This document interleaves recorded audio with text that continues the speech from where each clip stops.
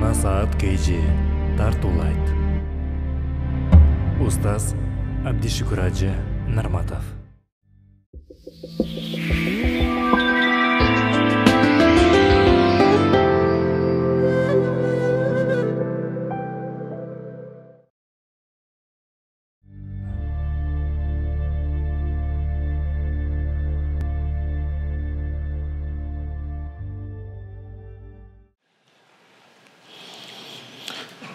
بسم الله الرحمن الرحيم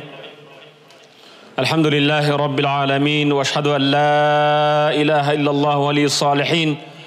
واشهد ان سيدنا ونبينا وعظيمنا وحبيبنا محمدا رسول الله خاتم الانبياء والمرسلين صلى الله تعالى على خير خلقه محمد وعلى اله واصحابه اجمعين Ağlamızı yaratqan الله تعالى maqtovlar, قولك برم الله جلغز ал аллах өзүнүн салих бенделерине эң, эң жакын дос жана күбөлүк менен биздин улуубуз жол башчыбыз сүйүктүүбүз мухаммад алейхисалам пайгамбарлардын элчилердин эң акыргысы аллах тааланын дуа саламдары пайгамбарыбызга жана үй бүлөсүнө сахабаларына болсун урматтуу мусулман бир тууганым мин лавазимин ал иман ал амал салих имандын талаптарынан бирөөсү имандын негизги аламат белгилерден бирөөсү амал салих салих аллага жаккан амалдарды кылуу кереметтүү курани каримде аману албетте иман келтиргендер алланын барлыгына бирлигине ишенгендер дегенден кийин амил салихат жакшы амалдарды сооп иштерди аллага жаккан амалдарды аткаргандар деп келет курани каримде эки жүздөн көп жерде келет имандуулар жакшы амал кылгандар. Имандуулар сооп иштерди аткаргандар деп. Иман менен жакшы амалдар бири биринен ажырабайт. Эгер банканын ичинде бал болсо сыртка балдын даамы чыгат балдын жыты чыгат. Банкада уксус болсо эч качан сыртка балдын жыты да даамы да чыкпайт. Жүрөктө иман барбы имандуу адам ал бир гана жакшы амалдарды аткарат динге элге жерге бала чака үй бүлөгө имандууга жаман амалдар күнөөлөр жарашпаган нерсе экөө карама каршы нерсе гүл гүлдүн жытын берет ошондон урматтуу мусулман бир тууган качан эгер жүрөгүмдө иманым бар кудайга шүгүр кээ бирлер айтат да негизгиси жүрөктө го дейт сенин жүрөгүңдө бар экенин жогун аллах таала билет сенин амалыңдан билебиз эң негизги ишеним болсо болду да дейт анан жасаган ишини карасаң адам сүрөтүндө болгон карышкыр ит жасабаганын жасайт анан дагы главный бул жер болсун деп коет урматтуу мусулман бир тууган имандын аламат белгилери эмне экен ибадатта салих амалдарда сооп иштерди кылууда улуу урмат кылууда кичүүнү иззат кылууда жараткан аллах табарак ва таала кереметтүү курани каримде эң улуу сүрө экинчи сүрө бакара сүрөсүн окуп карайлы алиф лам мим көптөгөн сүрөлөр араб тамгасын жыйырма жети тамганын тамгалары менен башталат кээде бир тамга менен кээде эки кээде үч кээде беш алты жети тамгага чейин алиф лам мим алиф өзүнчө тамга лам өзүнчө тамга мим өзүнчө тамга аллах табарак ва таала курандын дагы бир мужизасы аллах құранды пайғамбарға ушундай құранды берген эй арабтар силер өзүңөр жазган өзүңөр сүйлөгөн эле тамгадан түзүлгөн бул куран кана куранга окшош бир сүрөнү же керек болсо бир аятты да түзө албайсыңар бул силер билбеген тамгадан же сүйлөбөгөн сөз менен келген жок өзүңөр канча шайыр канча акын даанышман болбогула силер пайдаланып жүргөн эле тамгалардан келген эле түзүлгөн бул алланын сөзү алиф лам мим мунун сырларын аллах тааладан башка эч ким билбейт заликал китаб тиги китеп ал куран заликал китаб ал силердин колуңардагы мухаммад алейхисаламга келген куран ла райба фи анын аллах тааладан экендигине эч бир шек жок ла райба ла шакка фи алланын каламы алланын сөзү экендигине алланын китеби экендигине эч бир шек күмөн жок ал құран худаллил муттақин ал құран құдайдан қорыққандарға хидаят тура бағыт беруші құран әркімді тура бағытқа баштабайды аға иман келтірген алладан қорыққан инсандар үшін құран не екен тура бағыт хидаят жолы бирок муттакин деген ким аллах таала бул жерде алиф лам мим заликал китаб бул китеп алланын келгенине эч бир шек жок ал китеп такыбадарларды туура жолго баштайт деди эми такыбаны аллах өзү куранда чечип берет ким муттакиндер ким аллазина юминуна бил гайб биринчи сыпаты юминуна бил гайб көрбөстөн гайыпта болгон ахиретке алланын барлыгына бирлигине ахирет күнүндөгү дозокко бейишке эсеп күнүнө кыл көпүрөсүнө баардыгына ишенет ишене эле койбостон а мен билем ишенем алла бар кудай такыба болуп коет салат намаздарын окушат намазды окуган биз аларга рызк кылып берген нерселерди нафака кылып башкалар менен бөлүшөт кайрымдуулук кылат такыбадарлардын сыпаты ким экен намаз окушат жана өзүнө аллах таала аркылуу берилген нерселерди кайрымдуулук нафака кылышат бакара сүрөсүнүн биринчи үчүнчү аяттары урматтуу мусулман бир тууган мен токтотоюн деген тема мусулмандын бир белгиси мусулмандын аламаты карап туруп анын келбетине кийимине башкасына эмес мусулмандын бир мусулманчылыктагы бир момундун бир аламаты бар экен ал аллах жолунда аллах берген нерсени берет экен берешен болот экен кол ачык болот экен.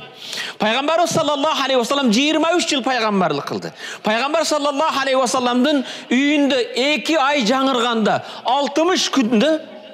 пайгамбардын үйүндө казандын астына от жагылбайт эле. Айша энебизден сурайт эмне жейт элеңер десе курма менен бир гана суу ичет элек дейт казандын астына от жагылбайт эле. Бүгүн кээде бир күндө үйдө тамак болбой калса кыямат. Урматтуу мусулман мумин пайгамбар ошого карабастан жыйырма үч жыл пайгамбарлык кылды ачкалыктан курсагына таш байлап алды сахабалар бир таш байласа пайгамбар ачкалыкты сезбейин деп курсагына эки таш байлап алган айша ай жаңырат кайра ай жаңырат пайгамбардын үйүндө казандын астына от жагылбайт эле десе ой эне эмнени жейт элеңер десе курма менен бир гана суу ичет элек дейт пайгамбар ошого карабастан берет эле албайт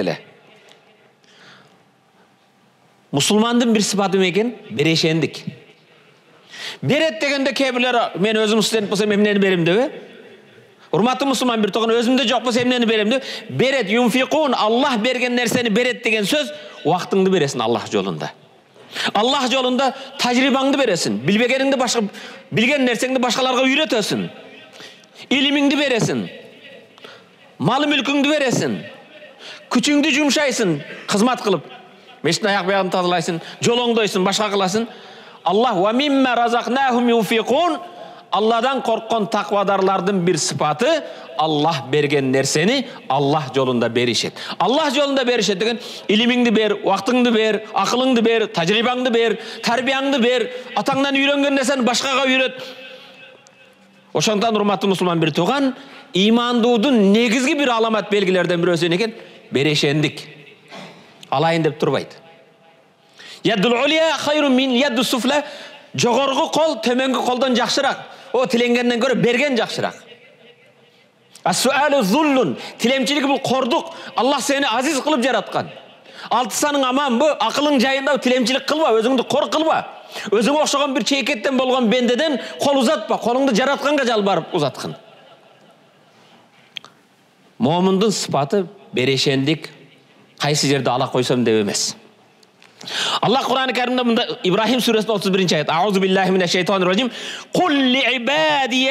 аману эй мухаммад айткын менин барлыгыма бирлигиме иман келтирген бенделерге айткыла дейт о имандуулар пайгамбарга аллах таала буйрду аману бенделеримдин имандууларына айткын эмне деп айт сала намазын окусун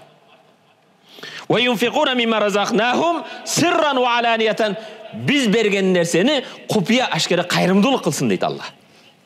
о алланың барлығына біліне ишенген бенделер аллах тағала имандыларға айтады намазыңарды оқығаннан кейін ибадат деген бір ғана намаз менен орозо менен хаж менен чектелип калбайт экен имандуунун сыпаты алланын баардыгына билине ишенесиңби анда ашкере жана купуя колуңдан келген нерсени бергин берешен болгон тилемчи болбогун İbrahim suresi 31. ayet. Hürmetli Müslüman bir tuğan Allah Teala Ali İmran suresinin 130. ayatına ko'ngil buram. Biroq bu oyatni o'qidan murda bir kelime keltiramiz. La ilahe illalloh. Muhammedun Rasulullah. Vasari'u ila mag'firatin min robbikum. Vasari'u jarish qilar. Dinimizde jarish bor ekan, atandashi bor ekan. Futboldan kim chempionat bo'ladi emas? Voleyboldan kim? Vasari'u jarish qila, atandash иля магфиратун мин роббикум раббыңардын жаратуучунун тарбия кылуучу алланын магфират кечириминде жарыш кыла ким көбүрөөк тасбih айтамын ким көбүрөөк кайрымдуулук кылам Allah vasari ila mağfirat min rabbikum ve cennetin arduha semavati vel ard. Asman жерден кенен болгон беш жолунда жарыш кыла ал беш кимге даярдаган уиддат лил муттақин алладан корккон таквадар бенделерге даярдалган асман жерден кенен болгон беш жолунда жарыш кыла дейт алла жарышка даярбызбы эми караң урматтуу мусулман бир тууган уиддат лил муттақин асман жерден кенен болгон бейиш таквадар инсандарга даярдалган таква сенин кийген эски кийимиңде эмес сен же мойнуңду жерге бүгүп алганыңда эмес экен сенин жупуну кийимиңде эмес таква хазірет ала хия хауф минал жалил алладан коркуу вал амал бит танзил аллах түшүргөн шариятка амал кылуу рида бил калил аллах берген нерсе аз болсо да ыраазы болуу вал истидаду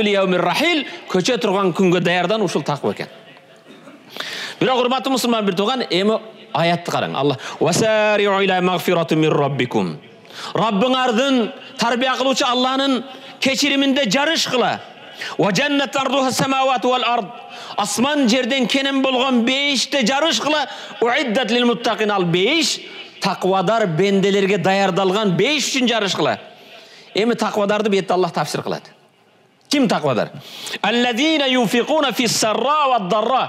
тақуадарлар аллазина юнфиқун алар қайырымдылық қылышады фиссарра өзүндө кенен кыйналбай турган кезде жетишерлүү болуп турган кезде уаддарра өзү кыйналып турса да башкаларга кайрымдуулук кылат жана таквадарлардын бир сыпаты ачуу келген кезде ой менин жиним жаман дебейт ачууну жутат ачууну жута билгендер адамдарды кечире билгендер аллах жакшылык кылгандарды сүйөт дейт али имран үчүнчү бир жүз отуз төртүнчү аят асман жерден кенен болгон бейиш үчүн жарыш кыла алланын кечириминде жарыш кыла ал бейиш таквадар бенделерге даярдалган таквадарлар ким ал өзүндө кенен болуп турган кезде кыйналып турган кезде кайрымдуулук нафака сооп иштерди кылган ачууну жута билген адамдарды кечире билген аллах жакшылык кылгандарды сүйөт дейт урматтуу мусулман бир тууган кээде урматтуу мусулман бир тууган эмнеге берет элем мен иштеп таптым. Ооба сен иштеп таптың. Чекетериң менен. Огород өзүмдүкү мал өзүмдүкү дыйканчылык өзүмдүкү эмнеге беришим керек дейсиңби эгер бербесең кээде өзүңдү өзүң өлүмгө түрткөн болуп каласың кандай бул дүйнөдө бир гана өзүң кумар үчүн жаса эгоист болуп жеке өзүңдүн жыргалчылыгың үчүн жеш ичиш үчүн кумарыңды кандырыш үчүн жашай берсең бир күн малакил маут кокусунан сен күтпөгөн кезде жан алуучу периште келип жаныңды алган кезде оңдон солдон тапкан баардык нерсең кала берет анда сен өзүңдү өзүң акыретке эмне кылдың куркол барасың. Аллах куранда аллах өзүңөрдү өзүңө өз колуңар менен өлүмгө түртпөгүлө дейт жыйнадың жыйнадың өзүңдүн бала чакаңа да бербедиң айылыңа да бир нерсе кылган жоксуң элиңе да бир нерсе кылган жоксуң бала чакаңдын келечегине бир нерсе кылган жоксуң жол оңдогон жоксуң көпүрө салган жоксуң суу чыгарган жоксуң жыйнап жыйнап туруп бир күн өлүп калдың акыретке сен құр қол барасың ештемең жоқ эмне менен барасың бақара сүресі 195 аят құл аману ей мұхаммад айтқын юқиму сала намаз оқысын аларға берген нәрсені ашкере құпия қачан ашкере қыласың башқаларға сабақ болуш үшін башқалар да сені көріп үйренсін негізі садақа қайырымдылық құпия болған жақсы ашкере қачан болады екен тигилерге да сабак болуш э мындай кылалы монтиш керек дегенде э паланчы кылат эмнеге мен кылбайын мен да ушунда жарышайын деген максатта ашкере кылса болот. Аллах куранда мындай дейт хадис сүрөсү жетинчи аят. Амину биллахи ва расулих алланын барлығына бөлген иман келтіргіле аллах тағала тарабынан жөнөтүлгөн пайғамбарға елшісіне иман келтіргіле алланың барлығына бірлігіне пайғамбарға иман келтіргеннен кейін анфиқу қайырымдылық қылғыла нафақа қылғыла мимма жаалакум мустахлафина фи аллах сілерге халифа қылып сілерге уақытылы беріп қойды кім беріп тұр аны малды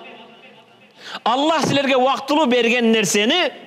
құдай жолында бергіле дейді урматтуу мусулман бир тууган бул мал байлык ден соолук убакыт баардыгын аллах берген сеники эмес ал убактыңды аллах үчүн бергиң келбесе аллах берген илимиңди башкаларга бергиң келбесе аллах берген малы мүлкүңдү кудай жолунда кайрымдуулук кылгың келбесе бир күн ал колуңдан алынып калат ал убактылуу сенин колуңда аманат өлүм келген кезде аны бирге алып кете албайсың сен тирүүсүңбү колуңда убактылуу аманат экен ал убактылуу сенин колуңда башкара турган нерсе урматтуу мусулман бир тууган араби бир чөлдө жүргөн бадави бедуин бадави келатса мал айдап келатыптыр бир коро малы бар экен бирөө келип бул мал кимдики дептир бир коро мал кимдики десе бул алланын малы менин колумда убактылуу дептир кімдікі екен алланың малы менің қолымда уақытылы аманат ошондон урматтуу мусулман бир тууган кээде биз кайрымдуулук кылган кезде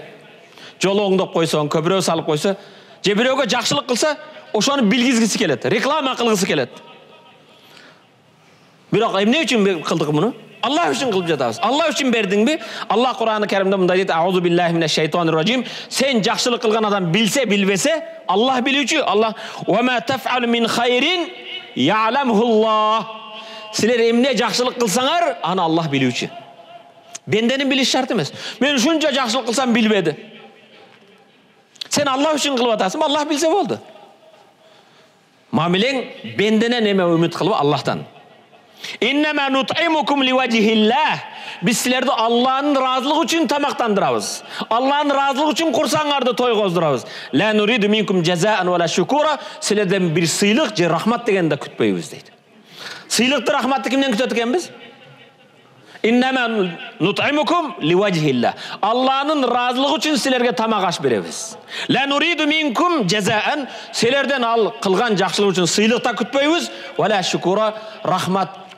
разылық барақшасы башқаңда эле керек емес бұл бары қала тұрған нәрсе алла үшін қылғаннан кейін алладан үміт қыл инсан сүресі тоғызыншы аят урматтуу мұсылман бір туған башында мен айтқандай иманы бар инсандардың аламат белгісі не екен ал аллах жолында қайырымдылық жақсылық қылған кейбіреулер қолына бір жүз доллар түсіп қалса беш мың сом түсіп қалса ох эми жайыңды тапқың дейді менің жаным шықпайынша ешқашан шықпайсың дейді урматтуу мұсылман бір туған алланың берген нәрсесін аллах жолында қайырымдылық қылу қайырымдылық деген кезде бір ғана ақшаменен емес қайрай уақытыңды бер құдай үшін футбол көрсең бокс көрсең болып болған бір фильмдерді көрсең даратың қыстаса да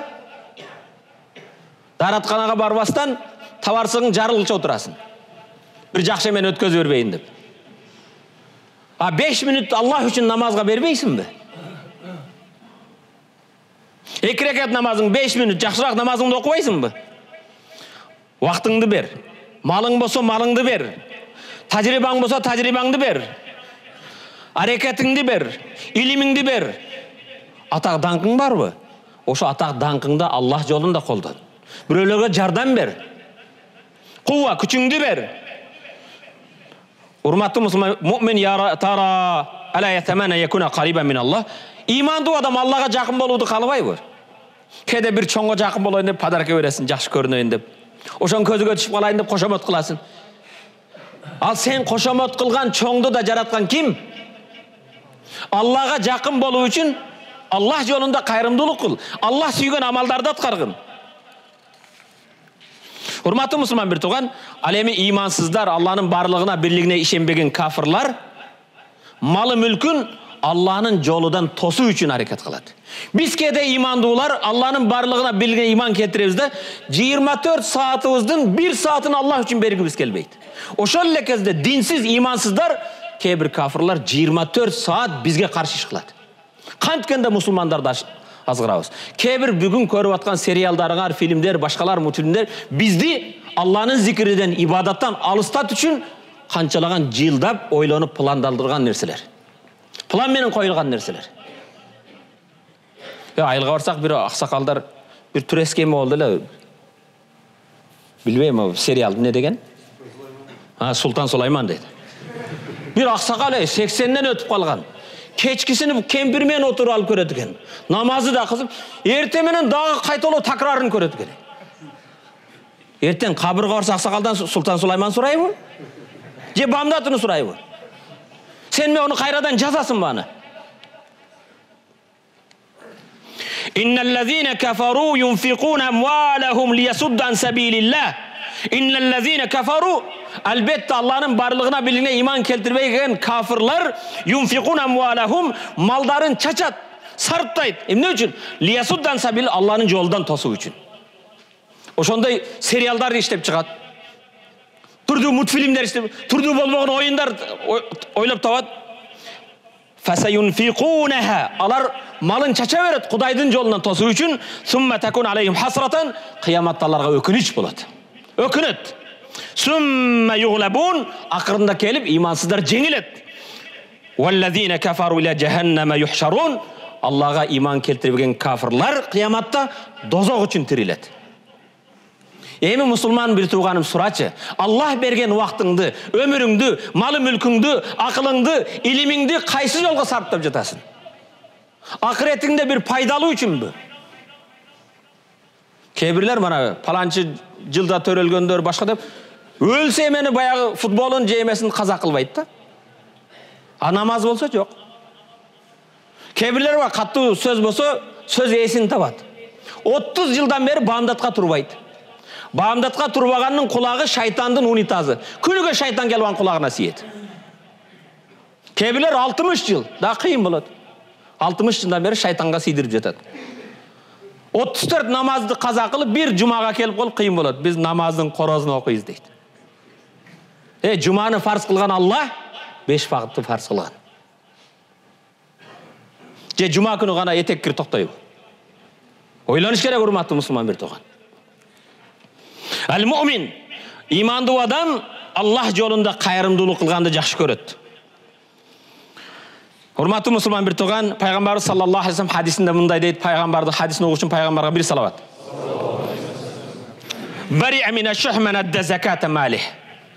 бақылдықтан сарандықтан жадниліктен құтылып тұр кімде кім малының зекетін берсе кейбіреулер жөнекей емес қалай берсе зекетті де бергісі келеді исламдағы беш парыздың біреусі зекет алланың барлығына білген иман келтіру беш уақыт намаз оқу рамазан айында ораза қармау малының зекетін беру өмірінде ажыға бір жол ажыға барып келу беш парыздың біреусі зекет болады ушул жерде баса белгілей тұрған нәрсе намаз қандай аллах тағаланың барлығына білген иман келтірген бәнделер салих амалдарды қылғандар сала намаз оқыл зекетіңді бер дейді бұл деген сөз намаз қандай фарз болса зекет те ошондой фарз. Зекет кімге фарз? Байларға бір жылдық эки миң доллар үйіңде қажетіңнен ташқары ақчаң болса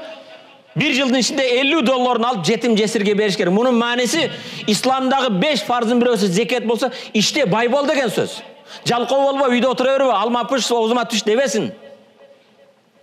а мен құдайым өзі береді демегін закат кімге парыз егер сен закат бергің келмесе байлық керек емес десең анда исламда бір парызы жоқ қылып бер сен қиынсың ба аллах жетимиш эки жерде намаз оқы зекет бер деп келеді намаз менен зекет эч бири биринен ажырабайт мунун мааниси мусулман аракет кылсын иштесин байысын зекет берсин деген сөз жоқ мага хаж керек емес деп айта аласыңбы мен намаз оқысам болды ораза қармасам болады дейсің бе ошондой эле зекетти чыгара албайсың. Мусулман жалкоо болбойт. Пайгамбарыбыз саллаллаху алейхи вассалам бир дуалары аллахумма инни аузу бика минал касали аллахым мени жалкоолуктан сакта деп пайгамбар дуа кылат эле. Жалкоолук мусулманга жарашпайт. Пайгамбардын дуасын карагыла пайгамбар саллаллаху алейхи вассалам мага мандат бер мага байлык бер деп сураган эмес. Аллахумма инни аузу бика минал аджзи аллахым мени ажиздыктан сакта ажиз деген колумдан келбейт кыла албаймын жасай бика минал аджзи вал бухл бахылдыктан сараңдыктан сакта вал жубн коркоктуктан сакта вал касали биздин баткендиктер оору болуп калган адамды паланчы касал болуптур деген чындыгында бул оору касал деген сөз бул жалкоо деген сөз кудайым мени жалкоолуктан сакта деген аллах фамшу фи манакибиха ва кулу мин ризқи жердин чар тарабында жүрүп рызкыны жегиле дейт төрөлгөн адамдын эки колу эки буту бар бир эле оозу бар бирөөгө жүк болбогун аракет кылыш керек зекет берет мусулман мусулман тилемчи эмес маектегилер кесип кылып алган ата бабасынан алты санаман келип отуруп алат жума күнү адамдар намазга чачылса ал тилемчиликке чачат сыйлуу кылып жараткан өзүнү аллахтын бенденин алдында өзүнү кор кылат урматтуу мусулман бир тууган имандуудун бир сыпаты эмне экен кайрымдуулук кылат дайым берет кала берсе зекетин да бергиси келбейт кырк коюң бар кудайыма шүгүр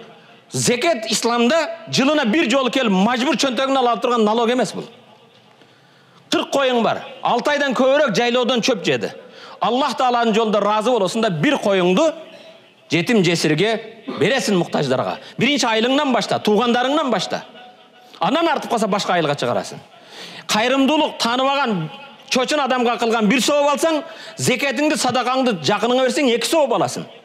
Биринчиси берген зекетиң үчүн экинчиси тууган уруктун карым катнашты бекемдегениң үчүн ошондуктан мечитке алып келишиң шарт эмес. Өзүңдүн билген колу кошунаңа жакындарыңа бергин кимде ким малынын зекетин берсе ал бакылдыктан сараңдыктан сакталат экен. Өзүнүн кажетин өзүнүн оокатын өзүнүн буюмун өзү көтөргөн адам текебирликтен кутулат экен өзүңдүн буюмуңду өзүң көтөр бирөөгө көтөрүп болуп кыйын болбо өзүнүн буюмун өзүгө керектүү оокатын өзү көтөргөн адам ал адамда текебир болбойт экен дейт зекетин берген адам бакыл болбойт экен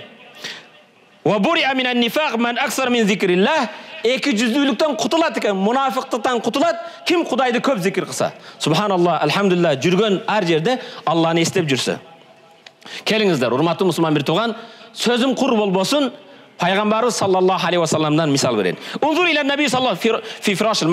пайгамбарды караң өлүм төшөгүндө жатат жыйырма үч жыл пайгамбарлык кылды алланын аманат динин жеткизди дуа кылса кааласа ухуд тоосу жети километр болгон тоо алтын болмок бирок пайгамбар саллаллаху алейхи вассалам бир күн курсагы тойсо эки айга чейин курсактары ач үйүндө от жагылбастан курма менен суу жейт ичет эле өлүм төшөгүндө жатып пайгамбар я айша о айша пайгамбар өлүм төшөгүндө жаткан кезде эгер бизге кырк градус температура чыкса пайгамбар сексен чыгат экен пайгамбарга жүз жыйырма чыгат экен пайгамбар кыйналып өзүнөн жоготуп кайра акылына келди да я айша үйдө эмне бар? дейт канча тыйын тыпыр бар? Айша энебиз я дананир я расулалла үйдө жети тилла бар жети тилла тыйын бар деди ал күндө бир динарыбыз бүгүнкү кыргыз сомго үч жүз жыйырма беш сом экен үч жүз жыйырма бешти жетиге көбөйтүп коюң ошончо пайгамбардын үйүндө акча бар экен о имандуулардын энеси о абубакырдын кызы о өмүр жолдошум айша үйдө канча тыйын бар деди жети дирхам бар деди жети динар бар я расулалла пайгамбар эмне үчүн сурап атат фатимага бер дедиби паланчы банкка алып бар дедиби жок мен кудайга жолукпастан мурда эй айша садака кылып бер кайрымдуулук кылып бер аллах жолунда иштетип бер фатимага бер деген жок палан банкка алып барып жашыргын деген жок пайгамбар кайра эсин жоготот бир аздан кийин пайгамбар көзү ачылып өзүнө келет я айша жети динарды аллах жолунда кайрымдуулук кылдыңбы дейт я расулалла сиздин ооруңуз менен алек болуп калдым жок кыла элекмин деди пайгамбар инсаният тарыхындагы эң эр жигит алланын эң сүйүктүү пайгамбары көзүдөн мөлтүрөгөн жаштар агып мындай дейт мұхаммад раббысының алдына қантип барады егер үйінде жеті динар қалған болса. Раббымдың алдына барып қантип жооп берем үйде ашықша жеті динар қалса.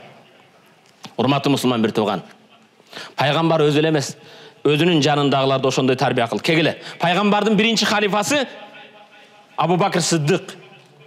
пайгамбар өткөндөн кийин мусулмандардын жетекчиси падышасы абу бакыр болду абу бакыр өлүм төшөгүндө жаткан кезде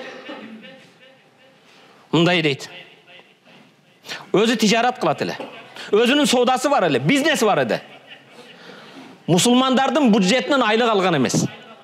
мен жетекчимин деп мусулмандардын байтылмалдан айлык акча алган эмес өзүнүн тижаратынан жеген өлүм төшөгүндө айша энебиз келип ата дейт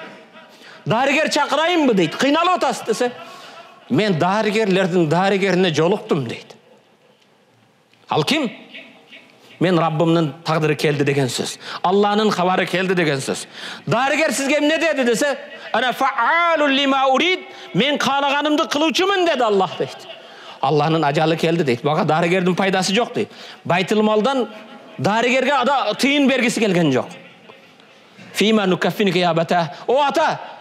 жаныңыз денеңизден чыкса эмне менен кепиндейик деди эле үстүндөгү кийиминин ушуну менен кепиндегиле деди я бата о атакем үстүңдөгү кийимде бир канча жамагы бар деди базардан кепин алдыр ал деди абу бакыр сыдык базардагы жаңы материалга тирүүлөр акылуу мен өтө турган менде ушу жамагы бар кепин менен кетейин деди байтилмал мусулмандардын бюджеттик акчаны тирүүлөргө сарптагыла мага эмес деди аллах таала өз рахматын алсын пайгамбардын экинчи халифасы хазіреті умар абқари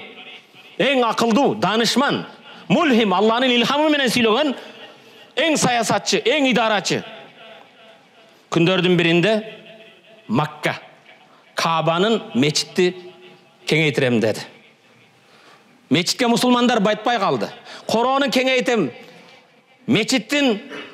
короосун кеңейтүү үчүн ибн аббастын үйү кошулуш керек экен коро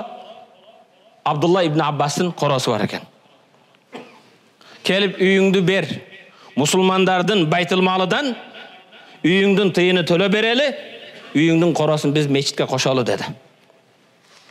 хазірет умар жөн эле үйдү өткөзүп кой деген жок анда ибн аббас мен жөн эле сиз бер десеңиз бере бербейм экөөбүздүн арабызда сот бар деди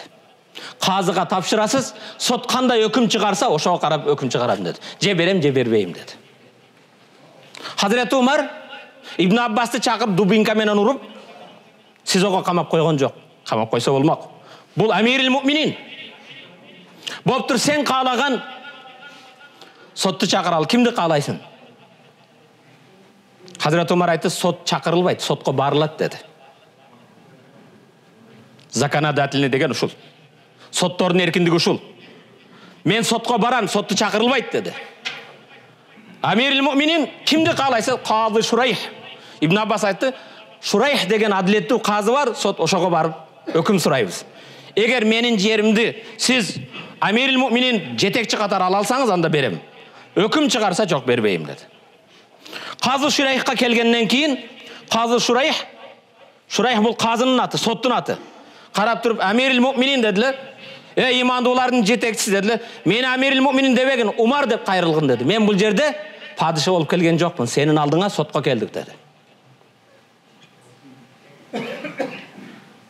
өкүмдү уккандан кийин шурайх мындай деди амирил муминин дауд алейхисалам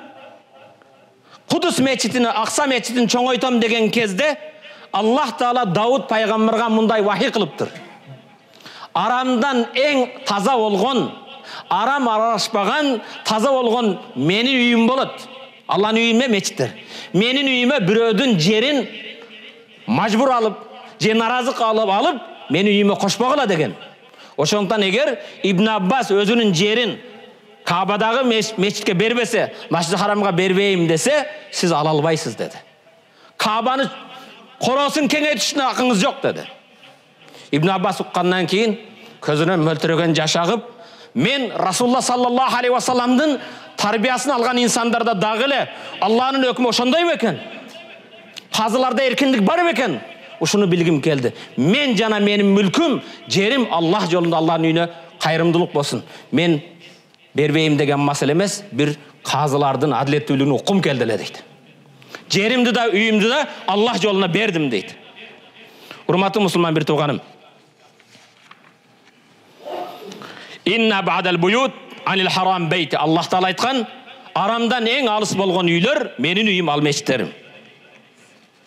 пайгамбарыбыз саллаллаху алейхи вассалам мындай дейт айма абдин хан ал муслимина фи дирхамин ау динарин وجيء يوم القيامة فوقف على جسر على النار кимдеки мусулмандарға жетекчи болуп мусулмандарда бир динар алтын тиын бир дирхам күмүш тиында кыянат кылса байтылмол бюджеттин акчасын өзү үчүн иштетсе арамдан жесе кыяматта дозоктун отунан болгон көпүрөгө турат фахар жиср кийин көпүрөдөн түшөт мин тахты кадамай буту тайып жетимиш жылдык терең дозокко түшөт дейт урматтуу мусулман бир тууган бул ушундай оор кыйын күн жетекчиликке чуркадык башка болдук бирок эл башкаруу оңой нерсе эмес байтилмал айтат бул өкмөттүн малы го жесе боло берет дейт. Мен өзүмдүн соткам бар өзүмдүн кором бар өзүмдүн машинам мен коргоймун. Сенин да ар кимиңдин дүкөнүң бар жериң бар өзүң коргойсуң бирок жалпы коомго тиешелүү болгон мал мүлк ал жетимдин акы сыяктуу. Жетим малын коргой албаган сыяктуу жалпы бюджеттеги коомдун малы элге болгон таандык жетимдин малы сыяктуу жалпы коомго тиешелүү болгон электр энергиясынан урдайсыңбы газынан урдайсыңбы башкасын урдайсыңбы жетимдин акын жегендей болот ал. Курани каримде аллах таала мындай дейт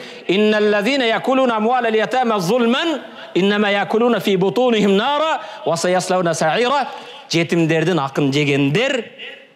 курсагына дозоктун отун жептир алардын бара турган жери дозок дейт. Урматтуу мусулман бир тууганым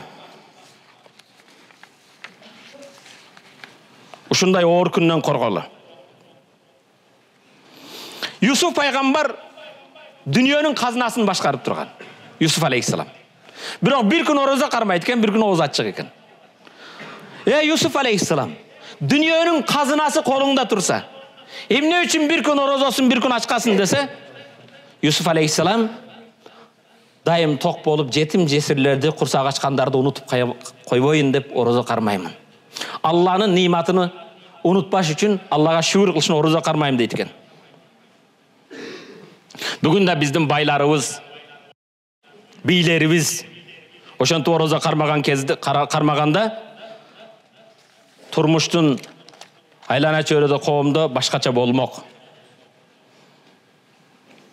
урматтуу мусулман бир тууган умар ибн абдулазиз адилеттүү падыша бешинчи адилеттүү халифа дейт санында бешинчи эмес адилеттүүлүктө бешинчи болуп умар ибн абдулазиз бул киши заманында ушундай адилеттүү падыша экен карышкырлар кой кайтарып калыптыр карышкырлар койго кол салбайт экен бүгүн адам сүрөтүндө болгон карышкырлар элдин малына кол салат бир күн аксакалдарга окшогон даанышман малын кайтарып жүрсө карышкырлар малга кол салган кезде отуруп алып өкүрүп ыйлайт эмне ыйлайсыз десе адилеттүү падыша өттү окшойт дейт адилеттүү падыша каза болду окшойт деп. Умар ибн абдулазизден кантип эле заманыңызда карышкырлар кой кайтарып калды муну оңдодуңуз десе мен аллах менен болгон мамилемди оңдодум аллах айбан менен махлук менен махлуктун арасын оңдоду дейт мен алла менен болгон мамилемди оңдодум алладан корктум аллах үчүн кызмат кылдым аллах таала махлук болгон кой менен карышкылардын арасын оңдоп койду дейт умар ибн абдулазиздин заманында зекетті алып шығып алып египеттің нил дайрасының жиектерінде башкаларда зекет берүүгө адам таппай калыптыр анан эмне кылат эч ким о зекат жок керек эмес дейт мындай өкүм чыгарат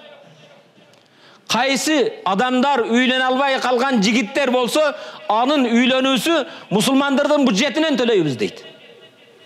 үйлөнө албаган да жигиттер жок кимдин карызы болсо мамлекет анын карызын төлөйт дейт ал да жок жетим жесир жок урматтуу мусулман бир тууган адилеттүү болгон кезде аллах таала асман жерден келген берекелерди ачат эшиктерин ачат экен ошондуктан урматтуу мусулман бир тууган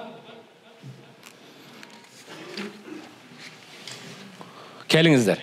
мусулмандын эң негизги сыпаттары алайын кантип ушул жерден уруп кетем кантип алып кетем эмес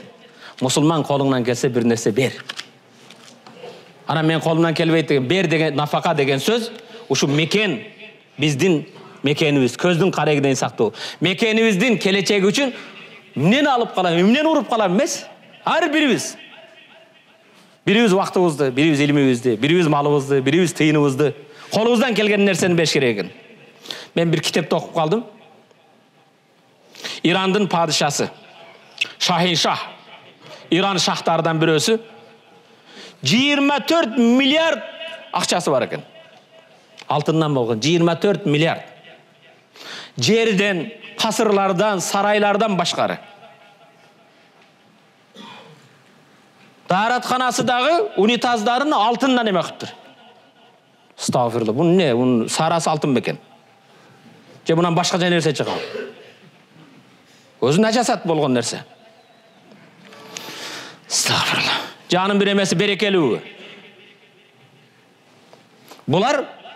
алладан коркпостон элдин акын жегендер. Өлгөндө эмне менен кетти бир динар алып кеттиби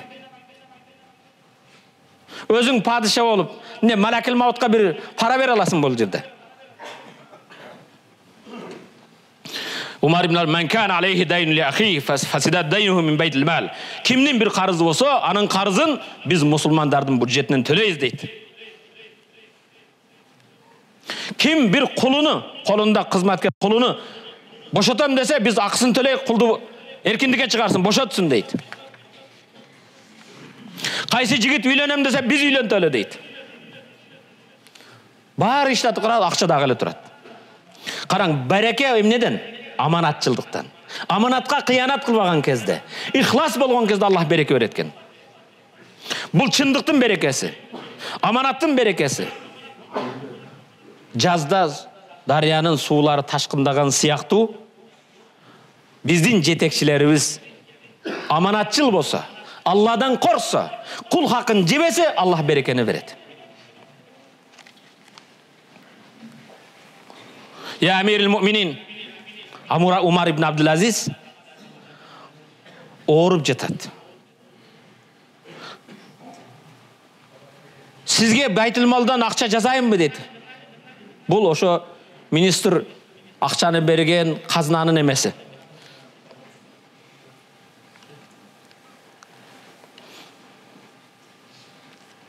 амирил муминин эртеси айыт экен эртеси айыт умар ибн абдулазиздин кыздары келип ата эртең майрам дейт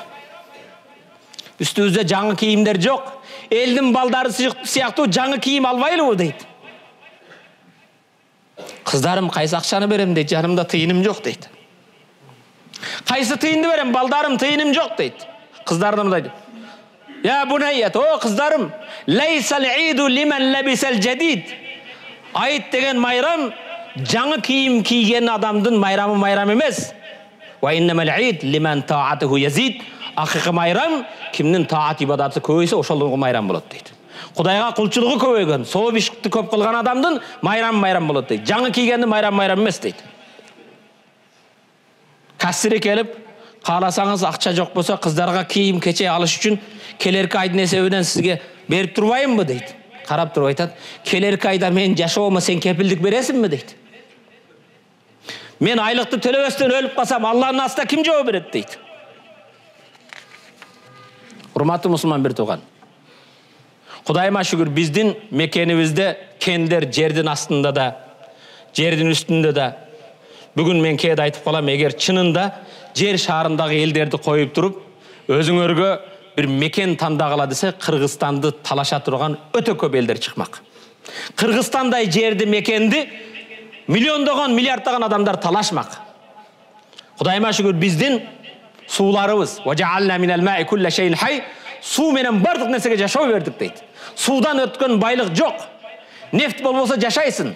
электр энергия болбосо жашайсың газ болбосо жашайсың суусуз жашоо мүмкүн эмес